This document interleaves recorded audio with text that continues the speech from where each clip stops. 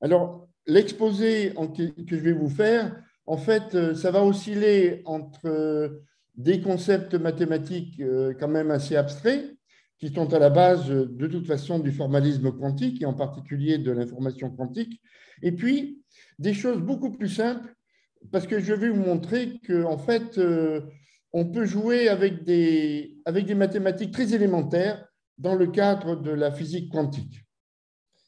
Donc, euh, je continue. Vous me dites si ça... Ah, qu'est-ce qui se passe? Il faut que je... Voilà. Il faut que je, change de slide de cette façon-là. Voilà. Alors, je commence par une, une, constatation. Quand vous regardez énormément de papiers euh, euh, introduisant la logique de l'information quantique, des papiers en particulier de, de Pérez, de Mermine, de, de Bell, de beaucoup de personnes qui ont laissé des noms, qui, sont, qui sont des grands noms de, de, ce domaine dans les années 60, 70, etc., on s'aperçoit en fait qu'on joue essentiellement avec deux matrices euh, qui sont les matrices de Pauli réelles que j'ai mis dans l'équation 1. Euh, ce sont les matrices sigma 1 et sigma 3. Et la deuxième matrice de Pauli est sigma 2, qui, elle, fait intervenir le nombre imaginaire pur, en fait, joue un rôle plutôt annexe. Donc, on, peut aller plus loin, on peut essayer de faire, d'essayer de voir si on ne peut pas faire déjà du formalisme quantique avec le plan euclidien sur, lesquels, sur, le, sur lequel agissent les deux matrices sigma 1 et sigma 3, hein, et puis toutes les combinaisons possibles. Voilà, euh, on peut essayer de voir si on ne peut pas jouer uniquement avec ça. Voilà. Alors, euh, bon, ça peut paraître un modèle euh, joué, comme on dit en, physique, mais en fait, à mon avis, ça va beaucoup plus loin. Alors, ce que je vais faire aujourd'hui, peut-être que je ne ferai, pas tout faire parce que j'ai oublié de demander à Mohamed combien de temps j'ai.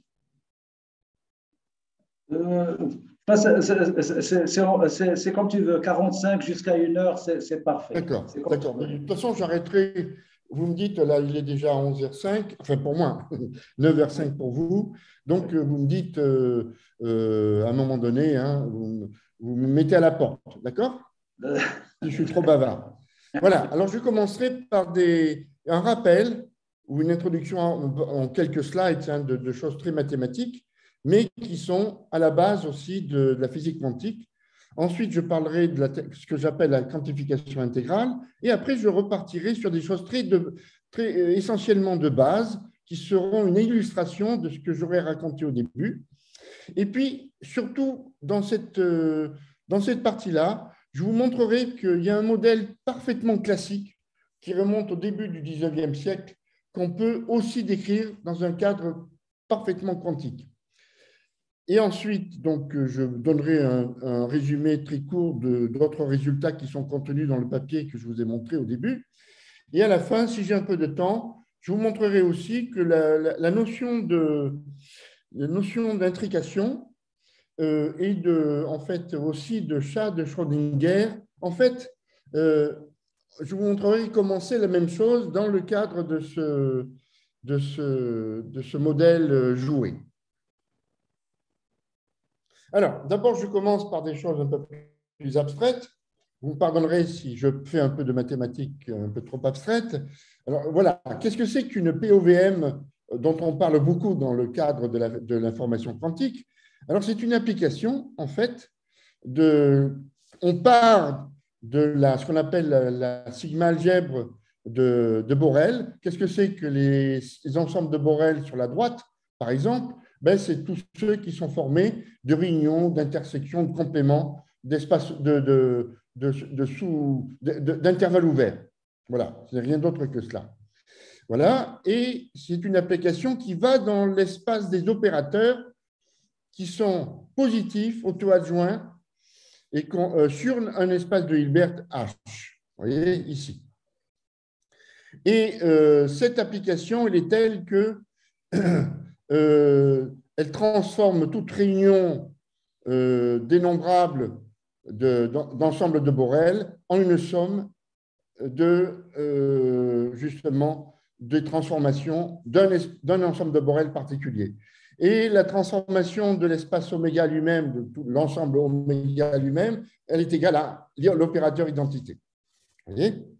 Alors on dit qu'une POVM est réelle si évidemment oméga, l'espace de départ, parce que là j'ai parlé des, des, ensembles de, de Borel dans la droite, mais si effectivement on est sur la droite, on dira que la POVM est réelle. Alors, qu'est-ce que c'est maintenant qu'une mesure à, valeur projecteur? Ben, C'est une POVM telle que f de delta, c'est un opérateur de projection. C'est-à-dire que quand j'en fais le carré, il redevient lui-même. voyez? Voilà. Alors maintenant, dans le cadre quantique, euh, on joue avec des espaces de Hilbert séparables et complexes en général, et euh, ces espaces sont associés en général à un système donné. Et les états dits quantiques sont représentés par des opérateurs densité, c'est-à-dire des opérateurs qui sont non négatifs, bornés, auto-adjoints de trace 1. Hein, ils sont dénotés en général par ρ. Et là, vous avez un théorème de Olevo qui est très important, qui vous dit la chose suivante, qui permet de faire comprendre dans ce contexte qu'est-ce que c'est qu'une mesure quantique. Hein, il y a une correspondance biunivoque entre les POVM, B d'oméga, et les opérateurs euh, dans un espace de Hilbert, d'accord? Euh, Pardon, excusez-moi. Entre les POVM, donc, qui appliquent les, sigma algèbres de, Borel dans les, opérateurs euh, positifs euh, sur un espace de Hilbert H, tel qu'il est défini ici, et les applications dites affines. Alors, qu'est-ce que c'est que S de H? Eh bien, c'est les états, justement, dont je viens de parler sur l'espace de, de Hilbert H, dans les, mesures de probabilité sur oméga qui sont dénotés par m de plus d'oméga. Alors, euh, cette application, elle est définie de quelle façon? Eh bien, à tout espace de Borel delta, la mesure sur cet espace donné est donnée par la trace de la, de combinaison d'un état quantique ρ avec une POVM, f de delta. Et pour en connaître plus, je pense que ça vaut la peine de, d'explorer ce livre qui constitue un peu une Bible, hein, euh, un livre de Paul Bush qui a malheureusement, euh, qui a malheureusement disparu il y a 2-3 ans, je crois. Euh, il, est, il, est, mort jeune, quelqu'un qui était professeur à York et qui avait fait sa thèse, enfin c'était était d'origine allemande, et c'est quelqu'un qui a beaucoup œuvré pour la compréhension de la mesure quantique. Alors, maintenant, qu'est-ce que c'est que le théorème de Neymark C'est un vieux théorème dans le cadre des opérateurs dans des espaces de Hilbert. C'est un vieux théorème qui remonte à 43, 1943 par un mathématicien et aussi un physicien mathématicien soviétique qui s'appelait Neymark. Alors, on dit que euh, la chose suivante, si vous avez donc une POVM dans un espace de Hilbert H, alors il existe un espace de Hilbert plus grand qui étend l'espace de Hilbert de départ, et une mesure à valeur projecteur, donc plus restrictive qu'une POVM, bien sûr, qui va de, que j'appelle E+, et qui va de l'algèbre de, de Borel sur oméga dans l'espace des opérateurs euh, positifs sur euh, l'espace de Hilbert le plus grand, tel que j'ai cette euh, euh, identité pour tout psi appartenant au, plus, petit espace de Hilbert, l'application de la POVM correspondant à un delta, à un ensemble de Borel sur psi, c'est la même chose que l'application de la PV, de la mesure à valeur projecteur sur psi, euh, combinée avec l'opérateur de projection qui part de H pour aller dans H. Alors, ce théorème est très important parce qu'il donne une condition nécessaire et suffisante pour avoir ce qu'on appelle la compatibilité entre deux POVM. Alors d'abord, qu'est-ce que ça veut dire euh, deux POVM qui sont compatibles? Vous en prenez deux. donc, qui sont définis sur deux sigma algèbres de Borel, voyez, et qui envoient, qui envoient les ensembles de Borel respectifs dans l'espace des opérateurs positifs sur l'espace de Hilbert grand H, on dit que ces deux POVM sont compatibles. S'il existe une troisième POVM définie sur l'algèbre de Borel euh, avec le produit cartésien d'oméga 1 et oméga 2 dans le même espace des opérateurs positifs et pour lesquels F1 et F2 sont des marginales, c'est-à-dire que F1 de delta 1, c'est F de delta 1 produit cartésien avec oméga 2 et F2 de delta 2, c'est produit F de produit cartésien d'oméga 1 avec euh, euh, de, oméga 1 avec delta 2. Et là, il existe un théorème qui dit la chose suivante et qui utilise Neymark, justement. Euh, deux POVM, F1 et F2, sont compatibles si et seulement si il existe deux extensions de Neymark de chacune de ces POVM qui commutent. Vous voyez? Alors, si vous voulez en connaître plus, je, vous invite justement à regarder ce travail de Roberto Beneducci, euh, publié en 2017 dans Report on Mathematical Physics. Voilà. Donc, voilà pour un petit peu de souffrance mathématique. Maintenant, encore un tout petit peu de souffrance mathématique avec la, le, deuxième, la deuxième partie, ce que j'appelle la quantification intégrale. Alors, qu'est-ce que ça veut dire la quantification, euh, quantification? Bah, Une quantification, ça veut dire la chose suivante en physique quantique, ça veut dire que vous partez d'une fonction et vous en faites un opérateur.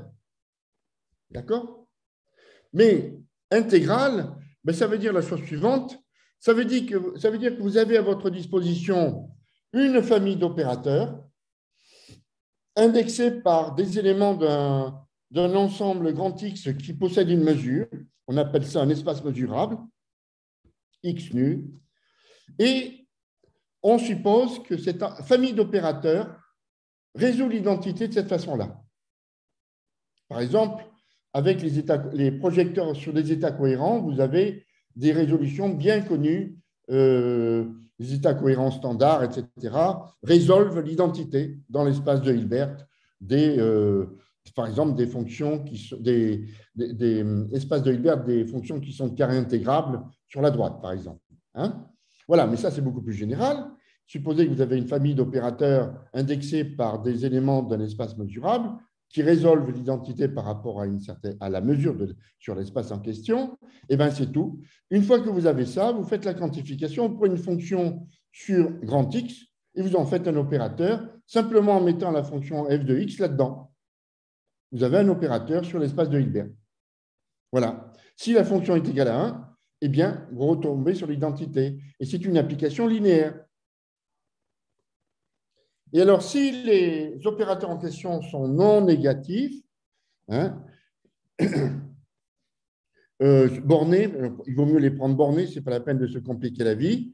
Alors, l'opérateur quantique qui correspond à la fonction caractéristique sur un ensemble de Borel delta hein, euh, sur grand X, en, supposant que cette famille de, de delta existe euh, dans l'ensemble le,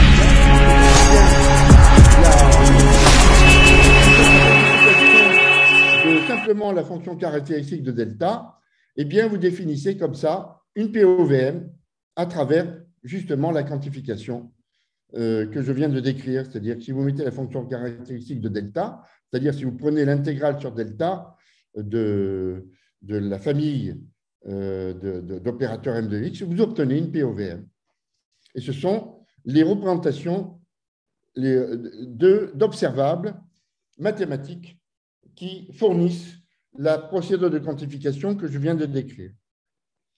Voilà un papier que j'ai produit en 2014 avec euh, mon collaborateur de, qui est à l'université maintenant Paris-Sud, Hervé Bergeron, où là, vous pouvez trouver plus d'informations sur deux exemples simples de telle quantification intégrale. Je passe maintenant à quelque chose vraiment de plus simple, c'est-à-dire le plan euclidien comme espace de Hilbert d'état quantique. Le plan euclidien, tout le monde sait ce que c'est. Hein, le plan. Et puis, vous savez que dans le plan euclidien, vous pouvez calculer les longueurs, vous pouvez calculer les angles parce que vous avez défini ce qu'on appelle un produit scalaire. Vous avez défini une structure euclidienne. D'accord? Ça, on apprend ça très tôt, en particulier avec le papier millimétré qu'on vous vend dans les, dans les magasins, euh, pour, euh, dans les papeteries. D'accord? Alors, allons-y. Le plan euclidien, ben, c'est un magnifique espace de Hilbert de dimension 2 réel. Hein Alors, euh, avec une structure euclidienne, évidemment, vous pouvez parler de, base orthonormée.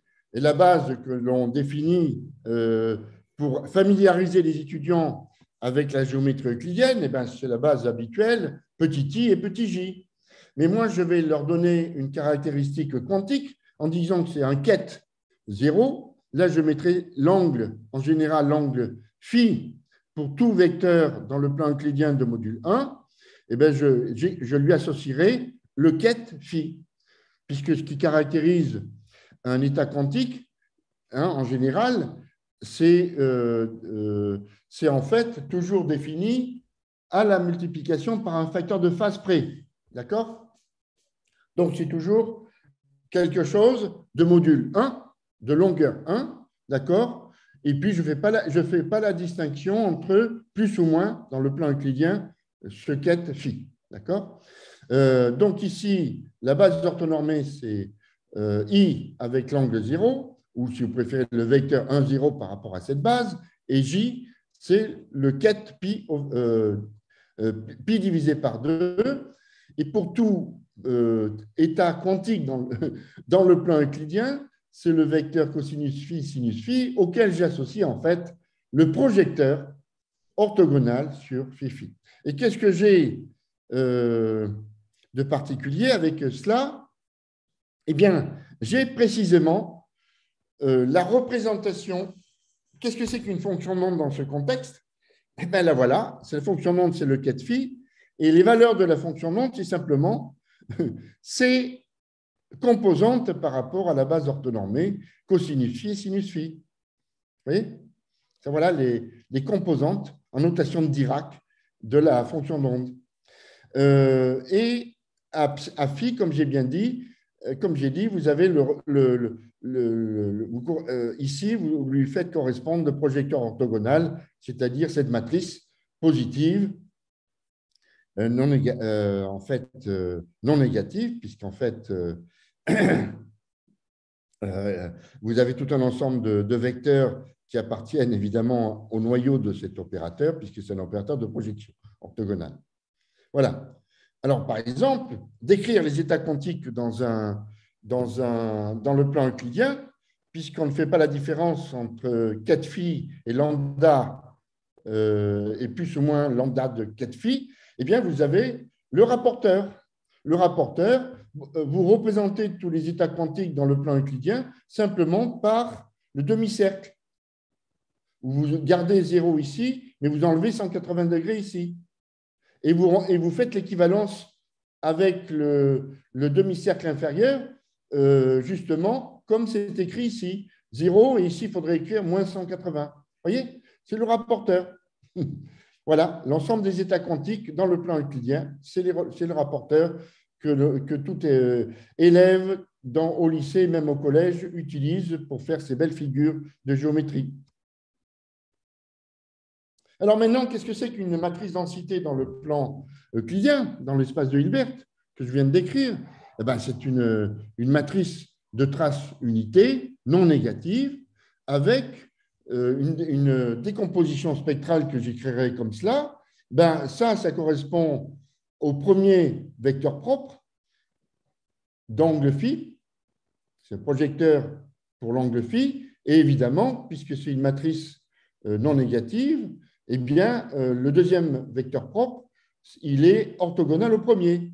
Et donc, ça correspond à un projecteur d'angle phi plus pi sur 2. Et puis ici, les valeurs propres, eh j'introduis ce paramètre, petit r entre 0 et 1. La première valeur propre, ben, je l'écrirai 1 plus r sur 2, mais la deuxième, c'est 1 moins lambda, c'est-à-dire 1 moins r sur 2. Alors, comment je peux encore paramétriser cette, cette, cette matrice? Eh bien, je vais introduire cette notation, puisque toute matrice, euh, toute matrice densité dans le plan euclidien, c'est défini par deux paramètres, un angle entre 0 et pi et petit r entre 0 et 1. Voilà comment je vais l'écrire. Eh bien, je vais avoir la partie diagonale avec un demi.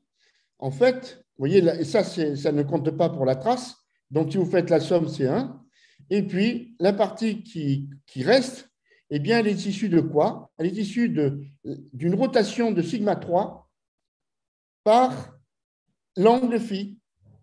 R phi d'un côté, son inverse de l'autre côté, et avec en multiplication R sur 2. Et ça encore, je vais l'écrire sous cette forme-là.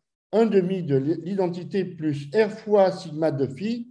Et sigma de phi, qu'est-ce que c'est? Eh C'est une petite matrice qui est écrite de la façon suivante. Alors ici, je l'écris pour phi c'est cosinus phi sigma 3 plus sinus phi sigma 1. Et cette matrice-là, elle est, c'est une observable typique dans le plan euclidien et c'est ce qui est utilisé abondamment dans les papiers historiques de Bell, de Pérez, de Marmine, etc. D'accord? Donc là, vous avez une illustration de, beaucoup de choses uniquement avec les deux matrices, comme je l'avais dit, de, sigma 2 et sigma 3 de Pauli. D'accord? Alors maintenant, je vais faire de, la quantification intégrale, justement, avec ces matrices densité réelles. Eh bien, allons-y. Qu'est-ce que c'est que l'espace de mesure dont j'ai parlé tout à l'heure? Ben, C'est le cercle. Qu'est-ce que c'est que la mesure? Ben, C'est des phi sur pi, pour phi maintenant appartenant entre 0 et 2 pi. Et la résolution de l'identité, ben, elle est effectuée par la famille des opérateurs densité où là, je prends un paramètre phi 0 que je choisis comme je veux. Vous voyez? Ça, vous faites ce petit calcul, c'est un calcul tout simple. Voilà la famille d'opérateurs qui résout l'identité. D'accord? Alors, le, phi, c'est la variable, je l'ai mise ici en index. Hein. Et la quantification d'une fonction, ben, je mets une fonction sur le cercle, et qu'est-ce que j'obtiens? J'obtiens une matrice de 2. Si la fonction est réelle, cette matrice est symétrique. Elle est auto-adjointe je peux l'écrire à l'aide, en fait, des coefficients de Fourier de la fonction f par rapport, simplement, les coefficients de Fourier euh, par rapport à cosinus de phi et sinus de phi, respectivement. Voilà. Alors ici, vous avez une rotation qui apparaît, rotation par l'angle phi 0 qui correspond à ce paramètre que j'ajoute ici. C'est un petit exercice absolument excellent pour comprendre une résolution de l'identité. J'invite euh, en particulier enfin, les, étudiants vraiment à faire ce petit exercice qui est très simple, mais en même temps qui vous fait comprendre tout de suite une résolution d'identité par une famille infinie d'opérateurs. D'accord? Alors maintenant, quelque chose qui est remarquable aussi, que vous pouvez démontrer facilement, si vous quantifiez cette fonction-là particulière, avec une famille ρ de matrice densité de paramètres petit r et d'angle phi plus θ, qu'est-ce que vous obtenez ben, Vous obtenez une autre matrice densité de paramètres S que j'avais mis ici dans la fonction f et de paramètres θ. Et ça, c'est vraiment typique des POVM. C'est vraiment typique aussi de la physique quantique. Voyez, euh, si je cherche à connaître avec quoi est construit cet état quantique C'est typiquement de la cryptographie. Eh bien, je, peux, je peux la construire par superposition de n'importe quoi. Vous voyez Je ne peux pas reconstruire, je ne peux pas deviner avec quoi j'ai construit cet état quantique. Parce que je peux construire un état quantique avec une superposition infinie continue d'autres états quantiques. Ça, c'est typiquement de la cryptographie quantique voyez? Voilà. Ah, une autre chose amusante aussi, que je, vous invite à, faire vous-même. Hein. Je vais vous donner une vision non commutative de l'espace à trois dimensions dans lequel nous vivons hein, euh, jusqu'à présent. Là, vous avez des physiciens qui vous disent qu'on envie dans des espaces à, à 11 dimensions, mais pour l'instant, euh, restons terre à terre Hein, euh, nous ne sommes pas non plus des êtres plats, nous avons, une longueur, une largeur, une hauteur. D'accord? Alors, ben cet espace-là, grâce à la quantification intégrale, eh bien, je vous montre que j'en ai une vision non commutative. Simplement, je quantifie les trois vecteurs de base dans l'espace des séries de Fourier. Je prends trois vecteurs de base qui sont la constante, donc trois vecteurs euh, normés à l'unité, et puis cosinus de phi, sinus de phi. J'en fais la quantification ici. Qu'est-ce que j'obtiens? Eh J'obtiens l'identité divisée par racine de 2, une première matrice sigma de phi 0, si vous vous rappelez que euh, je, l'avais introduit dans la, paramétrisation des matrices densité, et puis une matrice ici de paramètres euh, qui est tapis sur 2 du premier. Je rappelle rapidement comment j'avais défini ces, sigma. Je les avais définis ici, vous voyez Sigma de phi, c'est ça. Vous voyez, sigma de phi, ce n'est pas une matrice de rotation. Hein. c'est par contre le produit d'une matrice de rotation avec la troisième matrice de Pauli. Vous voyez? Eh bien, ici, voilà, j'ai une vision non commutative de mon espace à trois dimensions avec la règle de commutation, pour évidemment, avec l'identité, ça commute. Et voilà la règle de commutation entre la quantification de E1 et la quantification de E2, ça me donne moins R2 sur 2 fois une troisième matrice qui est finalement quoi? Eh bien, ce n'est pas la deuxième matrice de Pauli, c'est en fait la deuxième matrice de Pauli multipliée par moins i. C'est la matrice réelle qui me manquait pour former avec sigma 1 et sigma 3 une base pour toutes les, avec l'identité, une base pour toutes les, matrices réelles de, de, deux par deux. Vous voyez? Donc, à la fois, en faisant ce, jeu de quantification intégrale, qu'est-ce que j'obtiens? J'obtiens une vision non commutative de l'espace à trois dimensions, et en même temps, j'obtiens euh, ben, l'algèbre de Lie d'un groupe qu'on appelle SL2R, c'est-à-dire l'algèbre de Lie engendrée par sigma 1, taux 2, sigma 3, et puis à cela, j'ajoute l'identité et j'obtiens toutes les matrices réelles euh, comme superposition linéaire de ces quatre matrices. D'accord? Voilà. Alors maintenant, une petite illustration de Neymark avec ce formalisme. Je rappelle ici en haut parce que vous avez certainement oublié euh, ce que j'avais dit au début. hein? Mais je rappelle ce que c'est que le, le, le, Et eh bien ici, simplement, euh, la quantification du cercle, ça nous donne une illustration, une jolie illustration de ce théorème en combinaison avec la quantification de Toplitz. Alors là, évidemment, si vous voulez en connaître plus, je vous renvoie à l'article qui est soumis à l'heure actuelle et qui est sur euh, Archive. D'accord? Mais simplement, je dis la chose suivante. On peut montrer qu'il existe des projecteurs orthogonaux à partir de l'espace de, Hilbert des séries de Fourier. Séries de Fourier, par exemple, réel, avec des cosinus et des sinus. Voilà. Je fais une projection de ce de, cet immense espace de Hilbert de dimension infinie sur le plan euclidien, vous voyez, tel que pour une fonction qui est définie sur le cercle, eh bien, l'opérateur de multiplication sur L2 devient, après projection, la quantification, telle que je l'ai décrite auparavant, intégrale de la fonction f sur le cercle.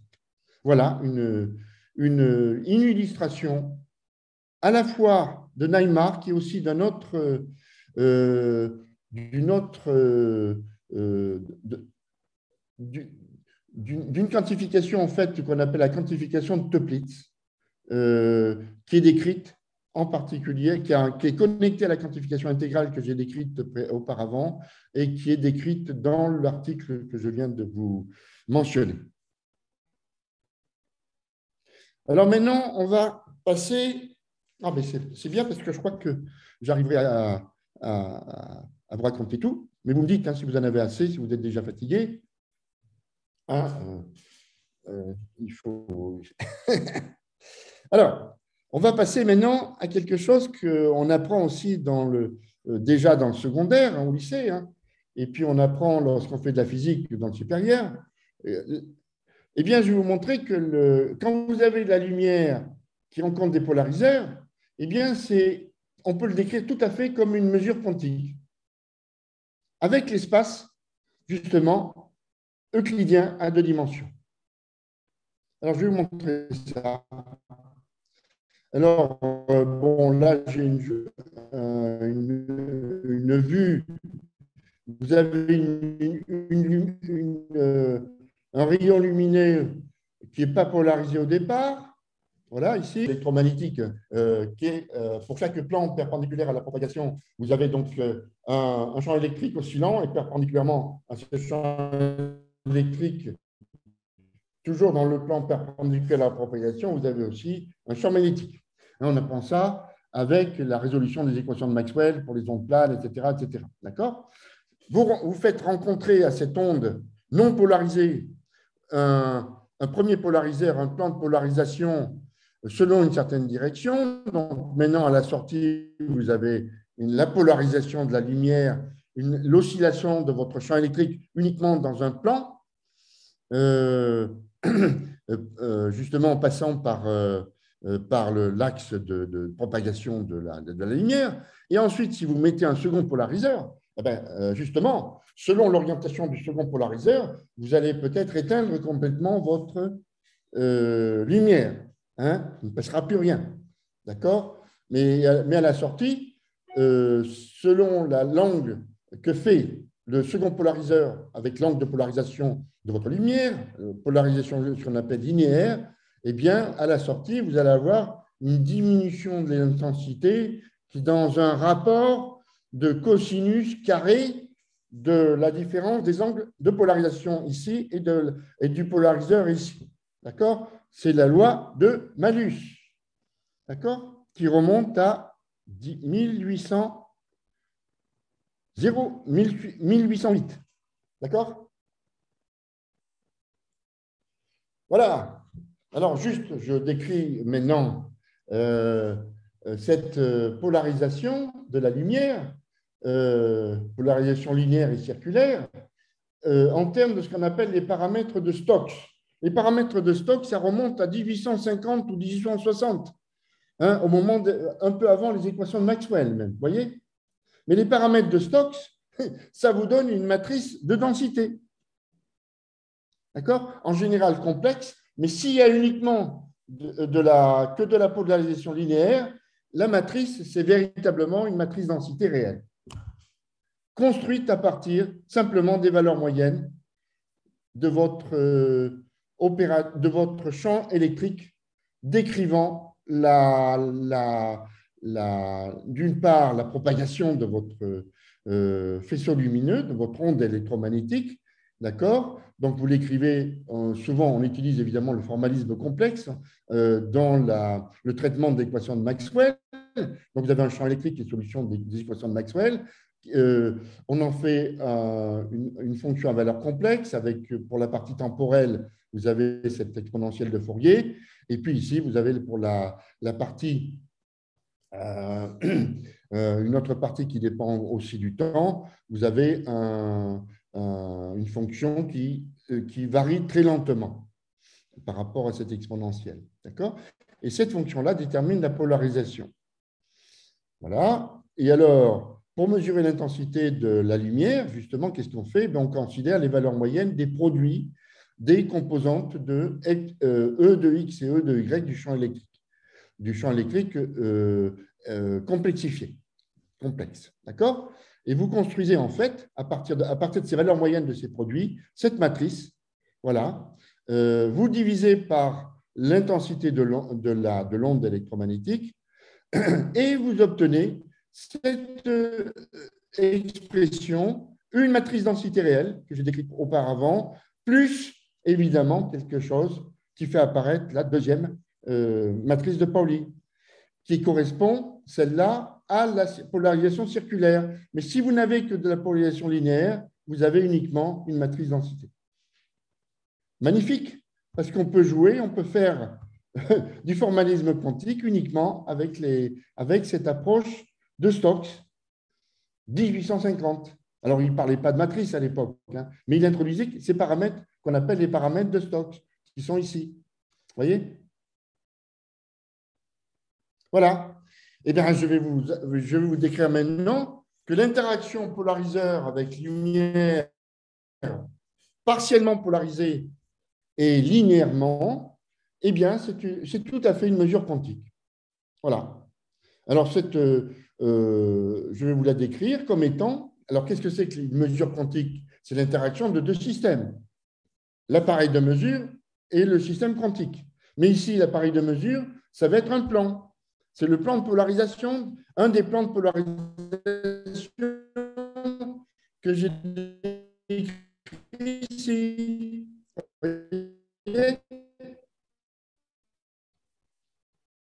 Et l'autre plan, ben, c'est le plan de polarisation. Donc, j'ai deux plans dont je fais. Alors, évidemment, quand on fait de la mesure quantique, on fait un produit tensoriel. Produit tensoriel du système quantique avec le, système, l'appareil de mesure, vu comme lui aussi comme un, comme un système quantique, évidemment. Hein. Euh, alors ici, quand on fait le produit tensoriel de deux plans, c'est comme si on faisait le produit direct, le produit cartésien en fait. Mais bon, donc vous avez, je répète, le, le pointeur, c'est le plan de polarisation, le polariseur, et le, système mesuré, c'est la polarisation linéaire de la lumière. Alors, donc, les, états du polariseur, je les appellerai ρ, m, ce sont des états, ce sont des matrices densité avec un paramètre S et un paramètre θ. Et les états de la, du système, euh, c'est-à-dire de la lumière linéairement polarisée, je les appellerai ρ, L avec paramètres R et phi. D'accord alors, maintenant, je vais faire une remarque euh, préalable. Je remarque que quand je, je, fais agir la deuxième matrice réelle, taux 2, euh, sur cet état quantique pour le polariseur, euh, donc taux 2, rho, taux 2 moins 1, en fait, ça veut dire que je fais tourner le polariseur de pi sur 2. Donc ça, je vais l'utiliser pour la suite. Voilà j'ai décrit les deux euh, états quantiques, un pour l'appareil de mesure, polariseur, l'autre pour la lumière. D'accord? Donc, pour la lumière, je fais la décomposition euh, euh, en, vecteur propre, en état propre, hein, comme, comme, je l'avais défini auparavant. Hein, voilà. Et alors, le polariseur, le pointeur, il est, il est, destiné à détecter l'orientation du plan déterminé par l'angle phi, ici, la polarisation de la lumière. Alors, pour euh, mesurer, il me faut une interaction. Alors ici, ce n'est pas un opérateur auto-adjoint, c'est un opérateur d'interaction qui est décrit de la façon suivante. Là, c'est un produit tensoriel, d'accord, de deux matrices L'une, pour évidemment, pour la lumière, c'est ce qui décrit l'état quantique de la lumière, et, euh, sous forme de, paramètres de Stokes. Et l'autre, c'est pour le polariseur. Et là, je vais utiliser cette matrice taux 2, qui est une matrice réelle, multipliée par une fonction qui est une fonction euh, localisée autour d'une certaine valeur du temps qui va être le temps de la mesure. En fait, on ne sait jamais en physique quantique à quel moment exactement on mesure quelque chose. Ça, c'est la grande euh, incompréhension de la... Quand on veut absolument comprendre la mesure quantique, on met toujours du classique, et le classique, c'est le temps de la mesure. Donc, euh, impossibilité d'avoir une vision complètement quantique, voyez, parce qu'on n'a pas d'opérateur temps en physique quantique. Donc, on a une impossibilité complète de comprendre complètement d'une façon quantique la mesure. Voilà. Alors, simplement, cette fonction que j'ai introduite, c'est une, fonction, si vous voulez, comme ça, vous voyez, qui est euh, comme un Dirac, mais c'est un Dirac adouci. Hein Parce qu'un Dirac localisé à un instant t de la mesure, j'y crois pas. je sais qu'il se passe quelque chose entre un instant t donné et un instant t plus delta t. Hein le temps de la mesure. Voilà. Alors, cet opérateur, donc, que j'appellerai le Hamiltonien tilde. Ce n'est pas un opérateur hermitien, puisque c'est un opérateur qui est le produit tensoriel d'un opérateur antisymétrique avec un opérateur qui, lui, est symétrique. Maintenant, ce qui se passe, et ça c'est un miracle, c'est que cet opérateur-là, entre les instants t et t0, défini comme étant l'exponentielle de l'intégrale de t0 à t de, cette partie-là, produit tensoriel avec ça, c'est-à-dire ça me donne l'exponentielle de cet opérateur-là, produit tensoriel avec toujours l'opérateur densité de la lumière, eh c'est un opérateur unitaire d'évolution. Cette, cette fonction grand G, c'est cette intégrale-là. D'accord? Et ça, ça se démontre. Alors, je recommande l'exercice euh, grâce à cette, euh, à cette, euh, cette, identité. Si vous faites l'exponentielle de θ tau 2, tau 2, je rappelle, c'est une matrice 0, 0 sur la diagonale, moins 1, 1 sur l'antidiagonale. D'accord? Et ici, vous mettez un projecteur orthogonal, eh ça vous donne cette, cette expression-là. Donc, ça veut dire quoi? Ça veut dire qu'ici, cet opérateur unitaire, eh bien, c'est la somme de ces deux opérateurs.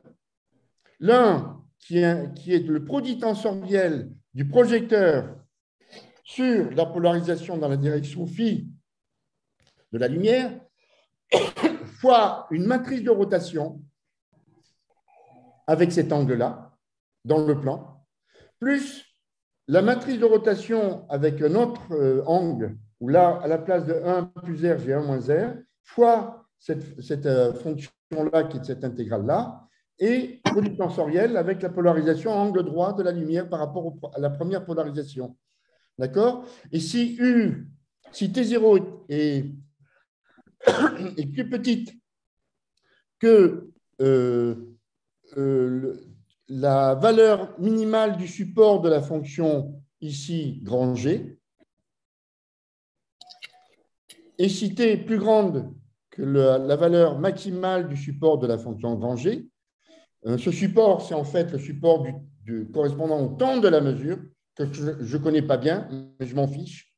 Simplement, il y a un instant, d'avant où la lumière n'avait pas rencontré de polariseur, et puis un instant d'après où la lumière sort du polariseur. D'accord? Eh bien, cet opérateur d'évolution, le voici. Ce sont simplement une matrice de rotation avec cet angle-là, une matrice de rotation avec cet angle-là. Ou petit r, c'est le paramètre de, polarisation linéaire. Voilà. Et après, qu'est-ce que je fais? Je, je, je, prépare mon polariseur dans un, un espace, dans un état donné. J'applique mon opérateur d'évolution à, à l'état du polariseur polytensoriel avec l'état de la, de la lumière. D'accord? Je fais ce calcul, je fais le calcul euh, de, de tout cela, et après, je prends la trace. Et la trace, qu'est-ce que ça me donne? Mais ça me donne exactement la loi de malus. Alors là, je, résume un peu parce qu'il faut aller dans les calculs, mais ça me donne la loi de Malus. Qu'est-ce que c'est que ça? Mais c'est un cosinus carré, et ça, c'est un sinus carré. Vous voyez? Voilà. Ah, je rappelle que la loi de Malus, ici, elle était donnée, elle a été, euh, trouvée à partir de cette expérience euh, que vous trouvez sur le, web, simplement. Hein. J'ai mis ici le, site web avec ce petit, schéma. Et ce qui avait été utilisé par Malus, c'était justement un cristal de calcite comme polariseur, etc. Et puis, euh, pardon, non, excusez-moi, c'est ça, c'est une première polarisation et une deuxième polarisation avec un deuxième cristal de calcite.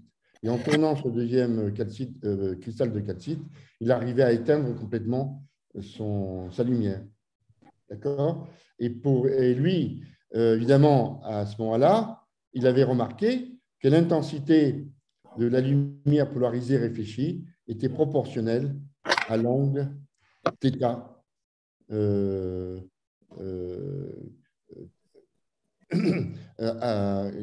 qui était l'angle entre la direction donnée imposée par la première polarisation et la direction imposée par la deuxième polarisation. Voilà. Alors, il me reste un petit quart d'heure, même pas, dix minutes. Euh, ah oui, là, c'était un résumé des autres résultats, mais ça, je vous laisse le soin parce que je vais vous laisser évidemment le, euh, les, euh, la présentation, de façon à, ce que vous puissiez de nouveau la revoir tranquillement à tête reposée si ça vous intéresse. Et là, je voudrais juste, mais je ne sais pas, ça, va être un peu plus. Ben, pourtant, c'est quelque chose qui me, qui me, moi, qui me plaît beaucoup, c'est la dernière partie, c'est la notion d'intrication avec justement ce formalisme de plan. Est-ce que vous me donnez, il est euh, midi, enfin il est pour vous 10h moins, moins, euh, moins 13, est-ce que j'ai le temps de faire la dernière partie? Oui, Jean-Pierre, tu peux y aller, oui. Je peux y aller? Oui. D'accord. Alors, j'y vais. Alors, je vais vous présenter simplement l'intrication, mais basée simplement euh, sur l'exemple de l'intrication de deux plans, de deux, euh, deux plans dans lesquels se trouvent pour chacun des états quantiques qui sont en fait des quatre phi. D'accord? Mais en fait, quand vous faites le, produit tensoriel de deux plans, c'est en fait la même chose que le produit cartésien. C'est aussi la, même chose que la somme directe. Mais c'est aussi la même chose que ces deux donc, vous avez à la fois intrication de ce côté, mais ici, qu'est-ce que vous avez? Ben, Les états de spin. Un demi. Et euh, les états de spin, c'est aussi, si vous aimez l'algèbre, c'est aussi les cotanions. Vous voyez Vous avez cette série-là qui est très intéressante. Mais évidemment, dans le cas général, on n'a jamais produit tensoriel est égal au produit cartésien. Or, il s'avère que dans la plupart des, tentative de vulgarisation d'intrication, on oublie trop de montrer que l'intrication, c'est le produit tensoriel et que le produit tensoriel, c'est une notion algébrique subtile, pas du tout simple à expliquer à des personnes qui n'ont jamais fait d'algèbre linéaire. Donc, il faut faire très attention. Le produit cartésien, d'abord, ce n'est pas les mêmes dimensions en général. Hein. Quelle est la dimension d'un produit tensoriel? C'est en fait le produit des dimensions.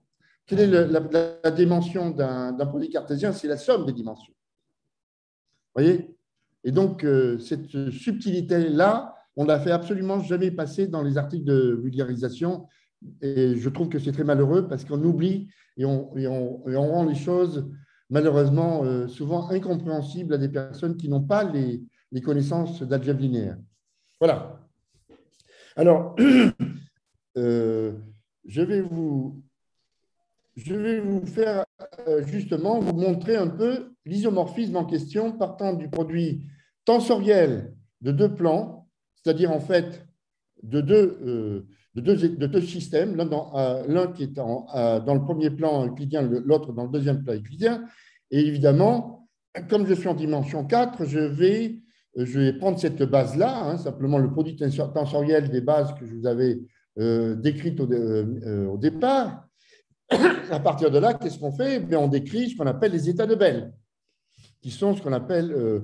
Alors, je suppose que tout le monde a fait un peu déjà d'informations quantiques. Donc, les états de Bell, vous connaissez bien, c'est ces deux états qui sont intriqués maximalement, enfin, qui sont intriqués au maximum. D'accord? Voilà. Tout le, monde, tout le monde connaît bien ça. Voilà.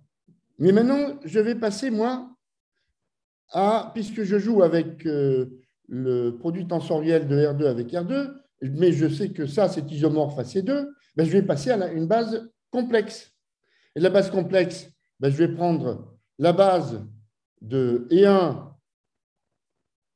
et de E2 pardon, dans le plan R2, et puis la, dans le plan, pardon, dans le plan dans le premier plan, je vais prendre la base E1 et pour la, la deuxième base que j'avais considérée comme étant orthogonale à la première, ben, je vais prendre IE1 et pour le deuxième plan, je vais prendre 2 et IE2. Et donc, comme ça, je construis une base dans R4 formée à partir des bases de ces deux. Vous voyez? Alors, Maintenant, je construis ma correspondance entre R2 produit tensoriel avec R2 et C2 de cette façon-là. Produit tensoriel de 0 avec 0, je, vais l'appeler E1. Produit tensoriel de pi sur 2 avec pi sur 2, je vais l'appeler moins E2, à cause du fait que j'ai mis un petit i dans la correspondance. Et puis ici, produit tensoriel de O avec, de 0 avec pi sur 2, je vais l'appeler IE1. Et, et, et produit tensoriel de pi sur 2 avec 0, je vais l'appeler IE2. D'accord? Et donc, avec E1, je vais associer ça à un spin en haut, puisque je suis dans C2. Et avec E2, je vais l'associer avec spin en A. Et alors, maintenant, je fais ma correspondance entre les états de Bell. Si vous vous rappelez, c'était dans le produit tensoriel de R2 avec R2. Et puis, la correspondance avec cette nouvelle base ici. Et la correspondance, elle se fait grâce à cette matrice. En termes de composantes euh, de vecteurs, évidemment, ça se fait avec le, la même matrice, mais ici, cette matrice-là, elle, agit à, à, à, droite, alors qu'ici, cette matrice-là agit à gauche. Hein, c'est le truc, euh, l'astuce habituelle lorsqu'on fait agir soit une matrice soit sur les composantes d'un vecteur, soit sur les, les, vecteurs de base. Mais en, en notation complexe, si j'ai introduit x1 plus y1 et x2 plus y2, ça revient à, cette, transformation-là revient à faire cette transformation dans C2. Je pars de Z1, Z2 et j'arrive à Z plus Z- aux états de Bell, avec cette matrice-là, de 2 à coefficient évidemment complexe, où C, c'est un. Attention, ce n'est pas des coefficients euh, euh, uniquement complexes, c'est qu'ici j'ai un opérateur. Un opérateur qui est un opérateur de conjugaison. Vous voyez?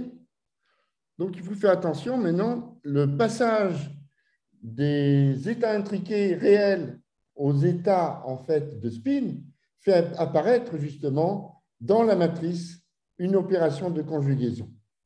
D'accord? Et ainsi, je montre que l'intrication de Bell dans le produit tensoriel de deux plans, comme c'était le cas pour la mesure quantique, polariseur, lumière polarisée, eh bien, j'en fais un état, j'en fais un état de, de, en quelque sorte. Je résume, hein, parce que euh, euh, je résume en fait, euh, je vais un peu vite malheureusement ici. Je, pense que j'ai été un peu trop ambitieux, mais ça ne fait rien. Si ça vous intéresse, je vous recommande à nouveau d'aller un peu plus en profondeur dans tout cela. Voilà. Si j'introduis ce qu'on appelle les états cohérents de spin, euh, décrits dans ces deux par ces superpositions linéaires, voyez, eh bien, euh, ces états cohérents, finalement, je peux les, mettre en correspondance avec des états de Bell, ici. Voilà. Je termine avec ça, c'est la dernière slide. Je pars d'un état de, de, Schrödinger, qui est un état cohérent, et avec les correspondances que j'ai faites précédemment, pour revenir à un état intriqué de deux plans, de deux états, chacun appartenant à un plan euclidien, par exemple polariseur et, lumière polarisée. Donc ici, la correspondance que je viens d'écrire précédemment, en revenant en arrière, eh bien la voici entre un état de spin 1,5, un état cohérent de spin 1,5, et un élément de cet euh, espace euclidien de dimension 4, en fait, voilà la correspondance. C'est-à-dire qu'à tout état de, de Schrödinger, ou état cohérent plus généralement, un chat de Schrödinger, eh bien, vous avez ce vecteur-là dans R3, dans R4, c'est-à-dire en fait ce vecteur-là dans R3, qui se balade sur la demi-sphère. Alors, bon, je vais un peu vite, mais je pense que là, il y a matière à réflexion, parce que tout cela, ça peut se généraliser dans des, dans des dimensions supérieures, etc. C'est une façon de décrire les choses, à mon avis, intéressante, en jouant avec à la fois les représentations réelles des états quantiques, les représentations complexes, puisque effectivement, les états on les, on, les, décrit le mieux possible avec des nombres complexes. Hein. Il n'est pas question de tout vouloir décrire avec des nombres réels. Mais on peut faire des jeux de construction avec des, avec des, des états décrits d'une façon réelle pour arriver d'un côté en partant d'états intriqués, aller de l'autre côté à des états qui sont des superpositions d'états quantiques. Je vous remercie de votre euh, attention.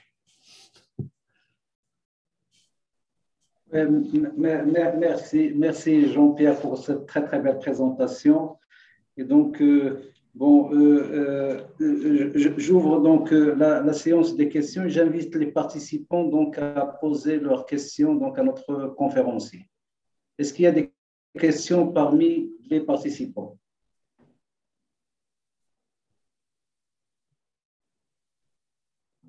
Ah. Donc, euh, je passe la parole à Monsieur Takok. Vous avez la parole pour poser votre question. Ouvrez votre micro, s'il vous plaît. merci beaucoup. Merci Jean-Pierre pour ce séminaire.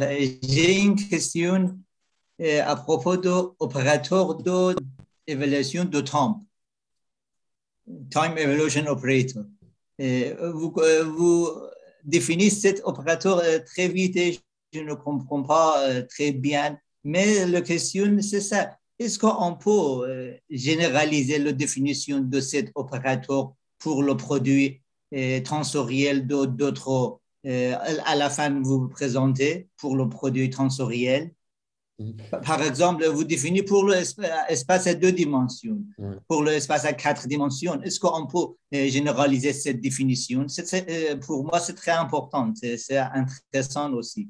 Merci mm-hmm. beaucoup. Alors, je vais répondre à, Mohamed. Alors, juste, je vais revenir à la, mesure quantique, hein, comme je l'avais décrite. Attendez, il faut que je retrouve le... Voilà, c'est ici. Voilà. Je vais revenir à la, Voilà. En fait, ce qui se passe, c'est que ici, euh, le temps, c'est un paramètre. Il n'y a pas d'opérateur associé. Par contre, ce que je mets ici, euh, comme euh, pour décrire l'interaction entre les deux systèmes, la lumière et, le plan de polarisation, je mets la matrice taux 2, simplement. Et là, je mets la fonction qui, est bien localisée autour d'un instant, disons, qu'on va décrire classiquement comme un instant de mesure. Vous voyez? C'est tout. Il n'y a pas d'opérateur temps là. Il n'y a pas d'opérateur. C'est simplement le, ce qui va accompagner disons, la, partie correspondant au polariseur, parce que ça, ça correspond au polariseur, c'est cette matrice taux 2. Taux 2, c'est une matrice, comme je l'ai décrite, qui, fait, qui, qui, est en fait le générateur des rotations dans le plan. Vous voyez? Mais il n'y a pas d'opérateur temps ici. On, peut généraliser ça à quatre dimensions euh, pour le produit. On peut généraliser à n'importe quelle dimension, bien sûr. Hmm. Bien sûr. C'est comme ça d'ailleurs, si vous regardez un article de Pérez dans Foundation of Physics, euh, ça c'est en fait euh, la, théorie de la mesure quantique de von Neumann. Mais en général, von Neumann mettait simplement un delta ici, ici là, un Dirac, un pic de Dirac. Ici, c'est plus physique de mettre une fonction qui est, euh, qui un Dirac adouci. Parce que si vous mettez un Dirac, vous, vous dites qu'à un instant donné, vous avez la mesure. Mais c'est jamais comme ça. Une mesure, elle prend toujours un certain instant, euh, un certain temps. Et ce temps, il est classique. C'est le temps de l'observateur. Ce n'est pas du tout le temps intrinsèque d'un système. Vous voyez? Merci beaucoup. Merci merci Jean-Pierre. J'invite euh, Mustafa Mansour qui a une question. Mustafa? Oui, euh, merci Si Mohamed. Vous m'entendez? Oui, très bien. Oui. donc, euh, je tiens à remercier le professeur Gazo pour l'honneur qu'ils nous ont fait en animant cette belle présentation. Donc, je félicite notre cher professeur Gazo pour la clarté de cette présentation qui est très riche et très pédagogique. J'ai une petite question concernant la limite de Hollywood ou le théorème de Hollywood. Ben, d'après mes connaissances, c'est surtout lié à l'information de haut niveau. C'est l'information qu'on peut extraire via une mesure par des pauvres à partir d'un certain état. Ben, euh, j'aime bien savoir est-ce qu'il existe un lien entre cette, limite et, les propriétés quantiques d'un exemple de la lumière polarisée partiellement si on fait une mesure par un polariseur est-ce qu'on peut, ce, théorème peut nous renseigner sur des exemples de la cohérence d'implication d'un état quantique Alors, disons que Olevo, vous voyez, il est là. Hein, c'est ça, en fait. Lorsque j'ai calculé la trace, à partir de ce formalisme, euh, venant des paramètres de Stokes, donc quelque chose, de, un système qu'on considérait toujours comme un système classique, mais qui en fait qui se prête à une formalisation quantique dans ce exemple particulier. La loi de Malus, c'est une loi en cosinus carré qui est exactement ceci, c'est les mesures de probabilité. Alors évidemment, dans le cas général, euh, on revient à la, formulation de Olevo, qui est en fait de dire que je vais revenir au départ, parce que là, on rentre effectivement dans le formalisme tout à fait non trivial hein, de, la, de la mesure quantique, qui avait été bien formalisé par euh, Olevo, justement, dans ses livres, et par, euh, essentiellement par, euh, voilà, c'est ici, hein, le théorème d'Olevo, je pense que c'est ça. Voilà, c'est Olevo, le voilà. Voilà. Alors, il existe une correspondance biunivoque entre les POVM et justement les, euh, ce qu'on appelle les applications qui sont des applications de mesure, puisqu'on on envoie, on envoie un état dans une mesure de probabilité. Cette mesure de probabilité vous dit simplement que le résultat de la mesure, il qui est un nombre réel, hein, normalement, eh bien, on l'obtient avec telle ou telle probabilité. Alors, ce qui, signifie aussi, c'est qu'il faut répéter plusieurs fois la mesure pour euh, faire coller le résultat des mesures avec cette loi de probabilité. C'est-à-dire qu'on met en, relation la statistique des opérations de mesure avec des lois de probabilité euh, concernant euh, justement l'appareil de mesure, l'état quantique, etc. Oui. Je ne sais pas si, très, si, je suis très clair, parce que là, on rentre dans des choses non triviales. Hein. Oui, bien sûr, oui, merci. merci. Mais je recommande justement peut-être cet ouvrage qui est l'ouvrage de référence, voyez Là, et qui est très clair, parce que Paul Bush était quelqu'un de très clair. Moi, je l'avais connu, euh, il était encore doctorant à l'université de Bonn, dans, au début des années 90. Il était en, communication beaucoup avec... Euh, mon collaborateur Touareg Ali, qui malheureusement est décédé en 2016, et Bush, euh, Paul Bush est décédé il y a 2-3 ans, lui. Je ne sais pas, peut-être que c'est dangereux de faire de la mesure quantique hein, à un niveau formel. Hein. Je recommande de faire attention. Euh, euh, oui, il faut, il faut, faire de la mesure quantique avec précaution. Avec précaution. Avec précaution. Mais je recommande parce que euh, je, sais, je me souviens qu'il m'avait envoyé à l'époque sa thèse qui n'était pas encore soutenue, Paul Bush. Et puis, j'avais laissé ça sur mon bureau. C'était dans les années où j'avais énormément de travail à faire et je me rappelle toujours que j'avais laissé ça et je ne lui ai jamais répondu. Et alors, je, je, m'étonnais après qu'il me faisait un peu la tête quand on se rencontrait dans les colloques, vous voyez. Ah, d'accord. Et, simplement parce qu'après, je me suis aperçu, oh mon Dieu, mais j'ai sa thèse sur mon bureau, je ne l'ai pas encore lue. D'ailleurs, je ne l'ai toujours pas lu, d'ailleurs. Hein. qui, ne pardonne là où il est. Euh, une autre question, c'est Stéphane. Oui, oui, oui, oui, si vous permettez, c'est Daoud, une, autre petite question. Oui. Oui, merci, merci, professeur Gazo. Donc, euh, ça concerne le, théorème de, de Neymar-Gelfand. Ah oui. Eh bien, c'est le même que, que vous citez, c'est Neymar ou bien Neymar Gelfand, pour ne pas oublier Gelfand. Ah, alors là, là, vous m'apprenez une chose, c'est que euh, je ne sais pas si effectivement ce, ce Neymar, il est associé à. Comment vous dites À Israël Gelfand, je pense, oui. À qui? Oui. Donc, c'est juste cette isométrie qui existe entre les système algebra et les subalgebra of bounded operator. Ah, mais peut-être dans, le, dans un contexte alors carrément des, des, oui. des étoiles, des étoiles, des, ouais, c'est ça. ah oui. Alors dans ce cas-là, effectivement, à partir de Neymark, là je vous cite Neymark 40, 1943. Oui, c'est ça, c'est 1943. là, je crois qu'il était tout seul à l'époque, mais je ne suis pas sûr, je ne connais pas bien. Hein, Là, il faudrait effectivement. Mais, il avait un autre, ouais, un mathématicien aussi. Il faudrait demander à Roberto, par exemple, qui connaît très, très bien tout cela, hein, au niveau de l'historique de Neymark. Hein. Euh, donc, ma, question, c'est juste ce théorème de Neymar. Est-ce qu'il existe un lien avec cette construction que vous mettez à la fin euh, lorsque vous construisez vos états impliqués à partir des états, des, états de, de Schrödinger? Ah, ça, je ne sais pas. Ça, c'est une chose à creuser. ce qu'on a fait dans le, dans le papier, là, dans ce papier euh, que je vous ai indiqué au début, on, a, on a fait essentiellement une partie du papier, et je crois que c'est celui-là, oui une partie du papier, euh, c'est justement faire le lien entre ce qu'on appelle la quantification de Toeplitz et la quantification intégrale. Et puis ensuite, on donne justement dans le cadre de la, de la polarisation de la lumière, ou non pas de, même pas avant, euh, de, la quantification intégrale du cercle, on donne une application qui, euh, justement, une illustration du théorème de Neymark. Et c'est celle que je vous ai indiquée.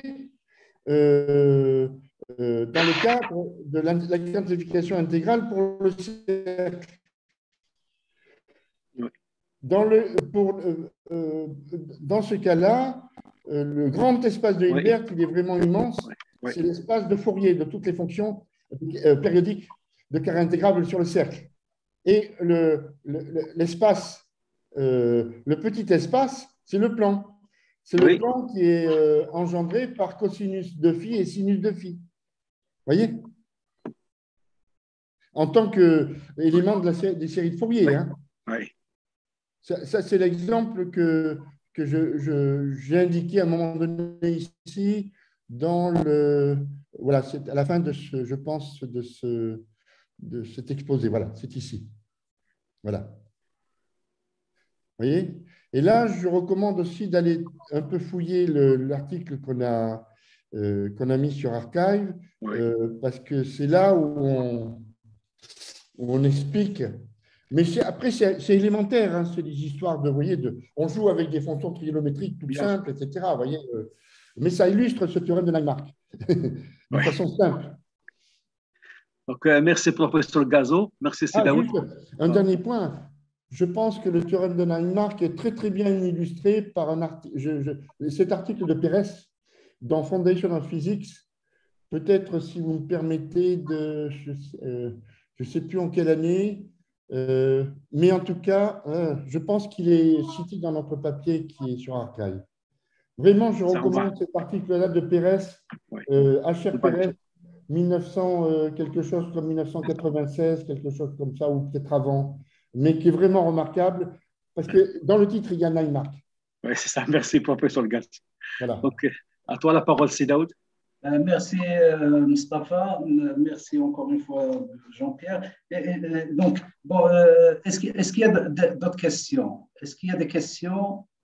Bon, je vois qu'il y a une question sur le forum, mais je, vais profiter pour poser ma question moi aussi. Donc, Jean-Pierre, lorsque tu, as, parlé de la quantification intégrale, je crois que c'est au niveau lorsque tu as cité, donc tu as introduit l'opérateur M. Oui. C'est ça. C'est au début de l'exposé. Donc, La famille d'opérateurs. Hein voilà, oui. Je pense que c'était, je vais tout de suite y arriver. Je n'ai pas voulu mettre les, les titres des sections dans, dans le beamer parce que je ne sais pas comment les mettre euh, sur le côté. Euh, si on les met en haut, dans ce cas-là, on n'a plus de place pour le reste.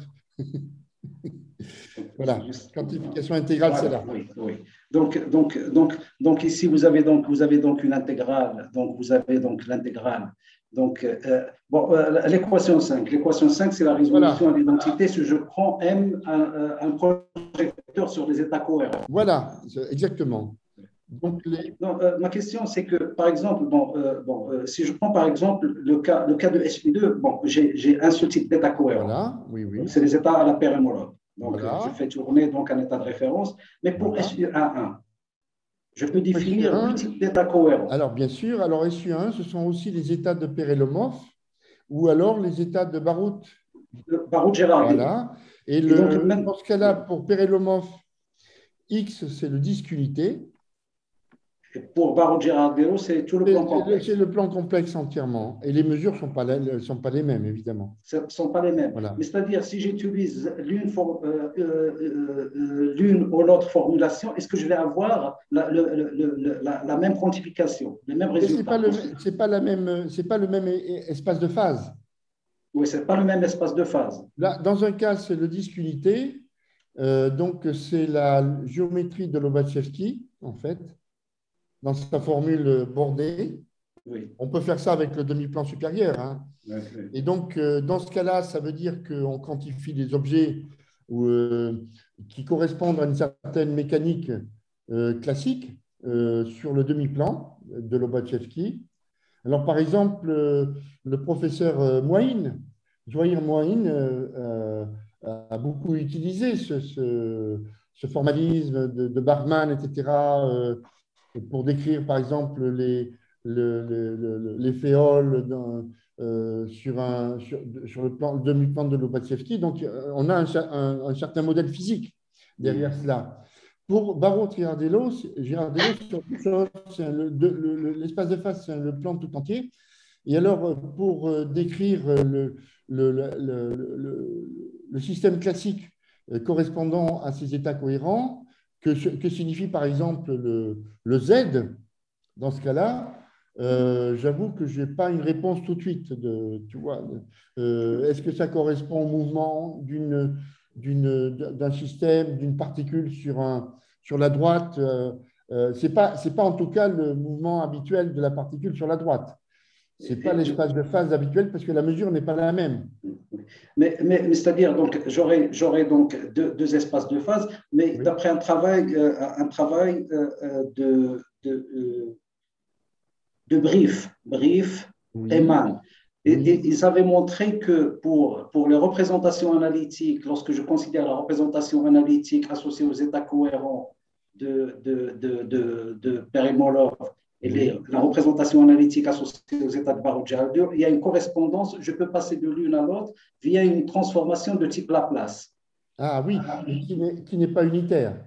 Qui n'est pas unitaire, bien sûr, qui n'est pas unitaire. Les, systèmes ne sont pas équivalents, c'est ça le.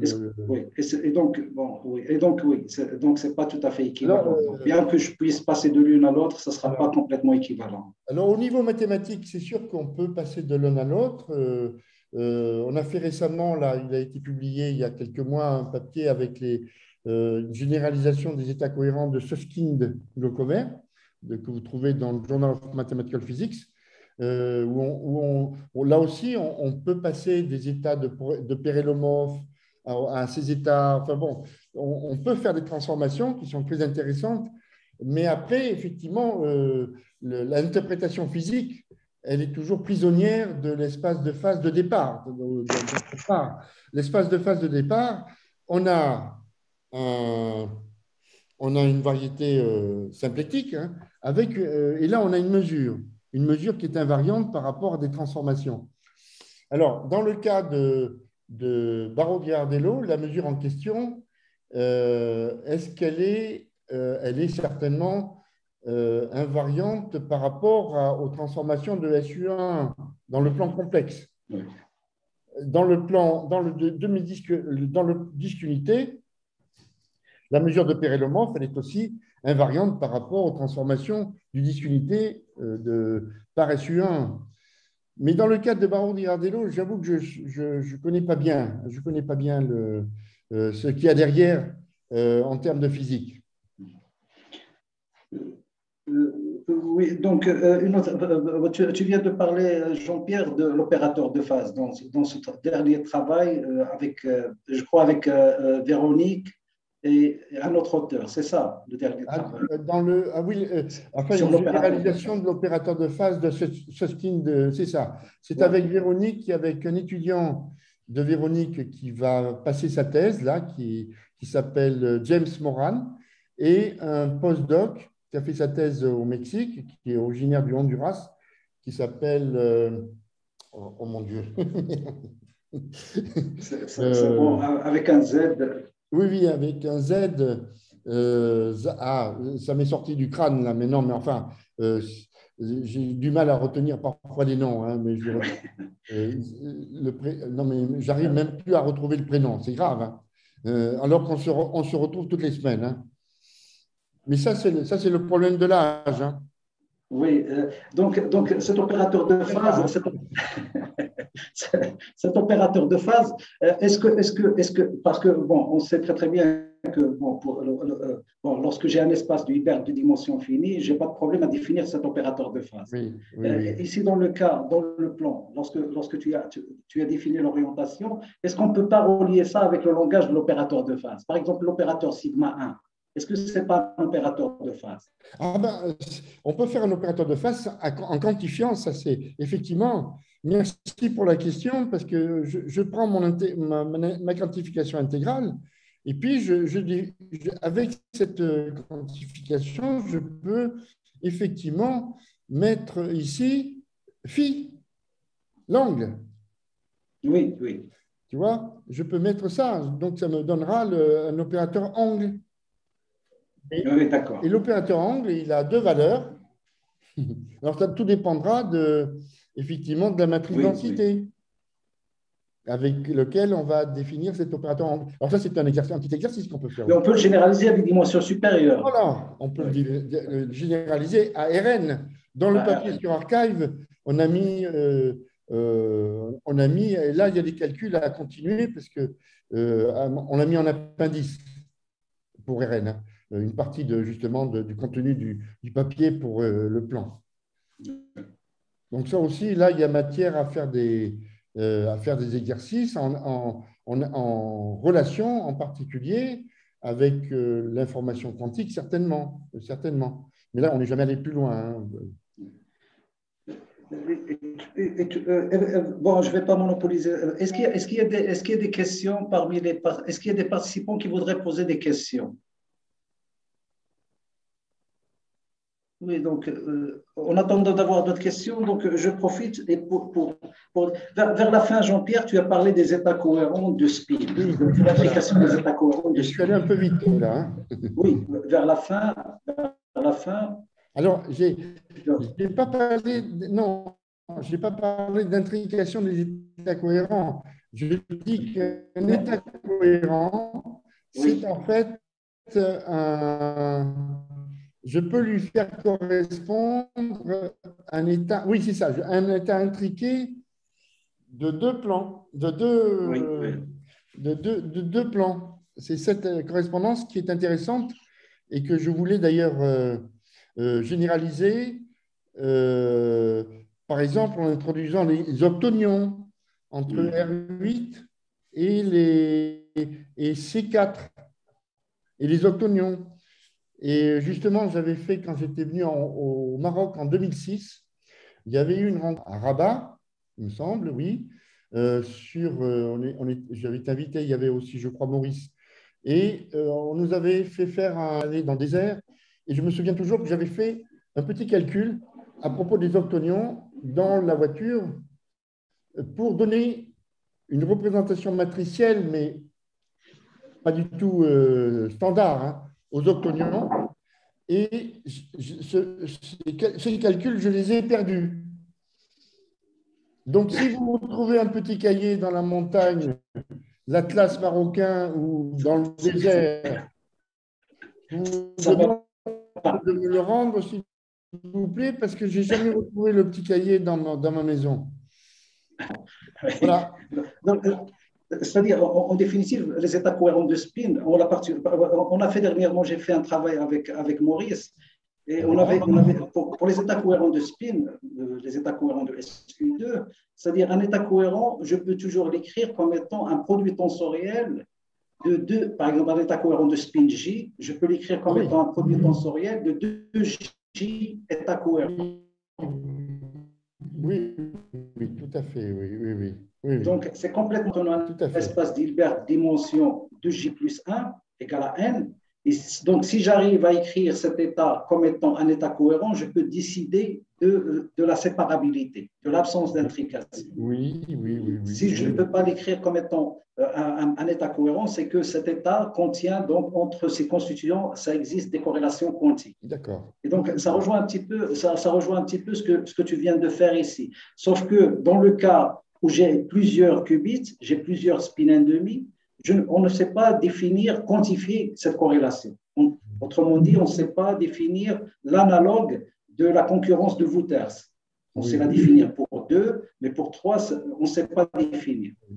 Donc, donc est-ce que, est -ce que euh, par exemple, euh, euh, la, matrice, la matrice que tu, tu viens d'introduire ici, qui fait intervenir l'opérateur C, est-ce qu'on peut ah, la relier sur la concurrence, sur l'intrication Peut-être, là, tu vois, ça, c'est des choses que j'ai faites dans un cadre pédagogique. Mais je pense qu'il faudrait aller plus loin dans tout cela. Parce que là, on a, on a quand même des séries de. On a un jeu de construction euh, qui, euh, qu'on peut faire uniquement avec des, des matrices réelles, euh, avec, des, avec, des, avec des réels au départ. R2, R2, R2, R2. Et puis, on peut rassembler ça sous forme des, des parties sous forme complexe, etc. Il y a tout un jeu de construction qu'on peut s'amuser à faire. Mais je n'en sais pas plus. Oui. D'accord. Euh, il y a des choses. D'accord. Merci Jean-Pierre. Merci. Et donc, euh, bon, euh, je ne sais pas s'il y a des, questions. Est-ce que vous avez des questions? Je, m'adresse aux participants. Si vous avez des questions. Donc, je regarde sur le forum de discussion. Donc, il y a une question de M. Amzioug. Amzioug, qui, demande est-ce que vous pouvez nous donner une interprétation physique ou bien le sens physique de la compatibilité des POVR Alors, là, justement, de nouveau, je ramène à ce, à ce papier. Je vous remercie d'abord pour la question. Justement, c'est dans cette euh, slide que j'ai. Euh, que j'ai euh, alors, je, vais enlever ceci, si vous permettez. Et puis, il y avait une slide que je n'ai pas approfondie, qui était le résumé un peu de, de nos résultats où là on donne un exemple justement de la compatibilité précisément avec, les, avec la polarisation de la lumière. Donc je vous invite, parce que là effectivement le papier il est beaucoup plus long. Euh, cette partie-là, c'est la partie, euh, je dirais, euh, beaucoup plus difficile du papier en question. Euh, où là, euh, Roberto Beneducci en particulier a joué un rôle important parce que c'est un spécialiste, lui, de la, de la compatibilité des, justement des POVM. Et là, il donne en particulier une illustration avec ces, ces matrices de ces états, ces états de polarisation de la lumière et du polariseur. Et là aussi, il y a matière. Alors donc, je vous recommande voyez, c'est dans cette partie-là qu'il y a euh, l'illustration hein, de la compatibilité. D'accord, merci Jean-Pierre. Bon, euh, est-ce qu'il y a d'autres questions? Bon, s'il y a pas euh, Une question, Jean-Pierre, une dernière question d'ordre un peu général. Pour, si, on veut, si on veut placer donc, ce, ce, schéma de quantification dont tu as dit, que tu décris aujourd'hui euh, par, rapport, par rapport à la quantification à la Lichnerovitch euh, et, ah, de, déformation. Voilà. De, de de déformation. Euh, je pense que là, on en est, on en est, on en est très loin parce que la quantification de déformation, elle, elle joue beaucoup sur les séries formelles. Et oui. on, on alors, on peut faire une, relation euh, via des papiers de philosophes, mais uniquement pour, essentiellement pour les, pour, lorsqu'il y a la symétrie de Weil-Heisenberg. Oui, oui, oui. C'est ça, ça. Alors là, il y a des papiers de philosophes où on peut effectivement faire le lien. On, euh, on peut faire le lien avec Bérésine aussi, bien évidemment, la quantification de Bérésine. La quantification de Bérésine est une quantification intégrale. Oui, Mais euh, lui, il a étendu, il est parti effectivement de, de Weil-Heisenberg, et puis il a, il a regardé aussi SU2, SU1. D'accord. Euh, pour Fedosov, il est allé plus loin dans, dans, euh, dans certaines directions liées à la fois à la quantification par déformation et une quantification à la Toplitz, à la intégrale, etc. Mais j'en sais, là, j'ai plus trop bien euh, en mémoire tout cela. Il faudrait effectivement que je revoie un peu tous mes papiers, dans le, tous les papiers que j'ai consultés dans le passé, pour aller plus loin dans, dans cette direction. Mais entre nous, euh, la quantification intégrale, elle est infiniment plus simple une fois qu'on a la résolution d'identité, on a trouvé une famille d'opérateurs, on met les fonctions là-dedans, on fait le calcul. Oui, mais il faut trouver la résolution à l'identité, ce qui n'est pas toujours. On en, a, on en a énormément. Dès l'instant où on a un groupe de symétrie, euh, euh, avec, les, avec les, le, lemme de Chour, par exemple, on, on, en bâtit autant qu'on en veut, surtout en dimension finie. Hein. Là, alors, là, on a en dimension finie, on a tout ce qu'on veut. dimension infinie, par exemple, pour le groupe SU1 ou SL2R, euh, la résolution de l'identité, on la trouve avec les états cohérents ou même avec des, opérateurs plus généraux qu'on a construit en particulier avec euh, Mariano Del Olmo, là, euh, avec le papier qu'on a publié l'année dernière. Là, on, a fait beaucoup de choses. mais pour la série principale, là, par contre, c'est beaucoup plus compliqué. Alors, on a d'autres résolutions de l'identité qu'on peut faire avec la méthode de Hall les états cohérents de Hall euh, et, Mitchell. Mitchell Hall, oui. Voilà. Mitchell Il a écrit une série de papiers là-dessus. Oui. Voilà.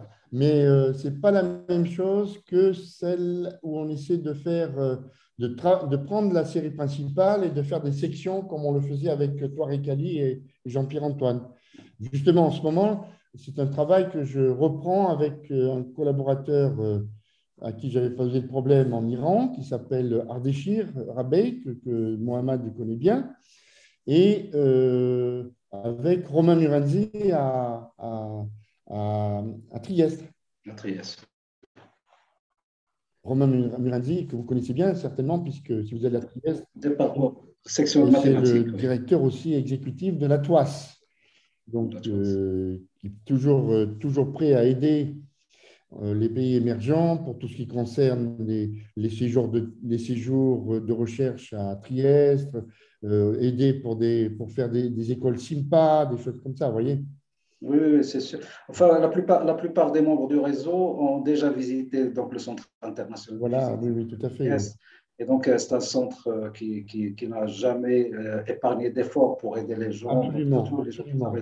il faut continuer, bien sûr, à demander. Il ne faut pas avoir peur d'appliquer. c'est extrêmement utile. ça, c'est un contact fort important et j'encourage les jeunes, les jeunes, les jeunes à, donc à postuler, à ne pas hésiter donc à écrire pour participer aux conférences et aux meetings qu'ils organisent là-bas. Il y a différents programmes aussi destinés aux jeunes. Il ne faut pas hésiter à écrire. C'est une très belle. J'y étais il y a. J'ai passé une semaine, il y a une dizaine de jours, là, deux semaines, pardon, euh, à Trieste, pour justement continuer à travailler avec Romain Murenzi. Et je pense que dans nos. Dans, dans l'audience, il y avait aussi Laure, Madame. Euh, euh, Laure Gouba, oui, Laure Gouba. Peut-être qu'elle est, qu est, présente avec nous. Peut-être qu'elle est partie. Mais tout à l'heure, elle, elle, était là tout à l'heure. Elle était là. Elle était là. Oui, qui, est, qui effectivement. Ben, s'intéresse aussi à, ce formalisme. Elle s'intéresse à ces questions-là. Elle travaille beaucoup avec euh, quelqu'un du Bénin, justement, aussi. Donc, euh, bon, euh, bon s'il n'y a pas d'autres questions, je vais, on va, nous n'allons pas retenir davantage donc Jean-Pierre. Jean-Pierre, on te remercie, je, je, te remercie personnellement très très fort et les membres du réseau marocain d'information quantique te remercient infiniment donc pour, pour la gentillesse d'avoir accepté donc, de donner cette conférence fort intéressante. Il y a, il y a beaucoup d'idées nouvelles, il y a beaucoup d'idées nouvelles, des, des, des, informalisme fort intéressant. J'invite les jeunes donc, à essayer de, de lire donc, les travaux de Jean-Pierre et donc essayer de, de, de, travailler, donc, euh, travailler sur, et de l'approcher du point de vue information quantique et ce lien dont il nous a parlé vers la fin, on connexion avec, avec, avec l'intrication d'un système de plusieurs qubits. Euh, Jean-Pierre, un grand merci encore une fois et peut-être à très très bientôt, donc en présentiel cette fois-ci, euh, ici au Maroc, euh, Inch'Allah. Inch'Allah, yes, merci aussi de, de, mon côté, un grand merci pour votre patience hein, et, et puis Inch'Allah pour la suite. À, très hein, très bientôt, Jean-Pierre. Voilà, merci faites attention évidemment au, au, à cette épidémie qui nous, euh, qui nous a surpris, qui nous a frappé. Hein. Donc, il faut, il faut, que tout le monde, évidemment, continue à, faire attention pendant un certain temps.